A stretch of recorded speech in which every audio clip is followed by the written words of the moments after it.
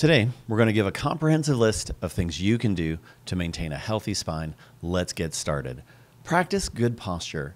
Be mindful of your posture throughout the day. Sit and stand tall, keeping your shoulders back and relaxed, and avoid slouching or hunching forward. Next, exercise regularly. Engage in regular physical activity that strengthens the muscles supporting your spine, things like walking, swimming, or yoga. Strengthening your core muscles is particularly beneficial for spinal stability. Lift properly. When lifting heavy objects, bend your knees, keep your back straight, and lift with your legs instead of your back. Avoid twisting while lifting. That lifting and twisting motion is what brings most people with back pain into our office. Next, maintain a healthy weight. Excess weight gain can strain your spine and lead to back pain. Maintain a healthy weight through a balanced diet and exercise. What does balance mean? How about we start off with avoiding things that only increase your calories without providing proper nutrients? Nutrient dense foods will help you to be satisfied without eating too many calories. Next, avoid prolonged sitting. If your job requires sitting for long periods of time, Take breaks to stretch and move around. Consider using an ergonomic chair and adjusting your workspace to support good posture. Use proper ergonomics. Whether you're at work or at home, ensure your workstation is ergonomically designed to minimize strain on your spine.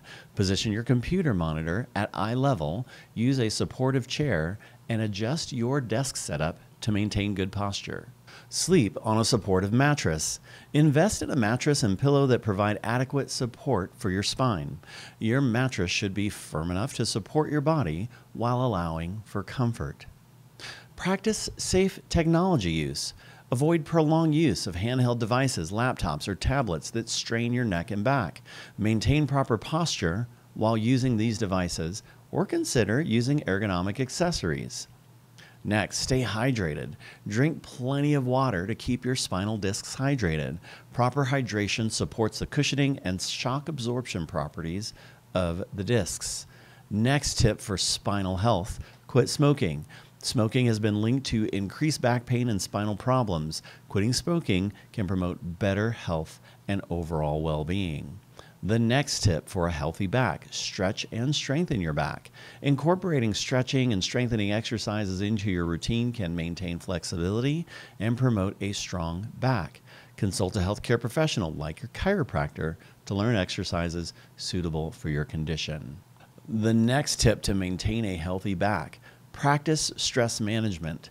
Chronic stress can contribute to muscle tension and discomfort in your back. So, implement stress management techniques like meditation, deep breathing, or engaging in activities you enjoy to reduce levels of stress.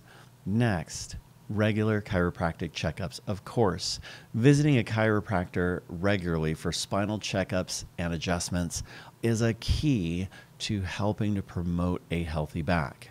And here's why. Chiropractic is based on four principles. The first is the fact that our body has an amazing ability to heal itself. Our body heals itself, it regulates itself, it maintains itself all the time, all by itself, and you never really have to think about it. Like right now, your heart beats and your lungs breathe, and your digestive system will digest the food you just ate. And you never have to think about any of those things. And what controls that? It's your nervous system. And what happens is your brain sends messages down the spinal cord out of all the nerves to every single part of the body. And as long as that pathway is clear, our body tends to function really well. But different things can happen that can cause the spine to move out of position. Things like physical stress, chemical stress, and emotional stress.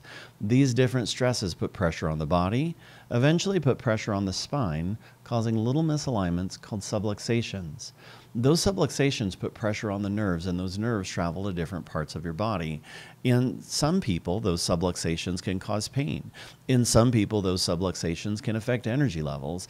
They can just affect how your body feels. Sometimes those misalignments can affect the way the body's functioning, and you may not even feel it. You may not feel the blood vessels not functioning well. You may not feel organ function slowly declining, but these are things that are happening underneath without us even thinking about it. You don't want these subluxations. As a chiropractor, it's my job to make sure that we correct any of those misalignments in the spine. And as we do that, you are going to feel better, your body is going to function better, and you will be healthier in the process. That is chiropractic. And don't forget, hit that like button, leave a comment with your thoughts, and subscribe for more content like this. Thanks for watching, and here's to a healthier, happier life. Have a great day.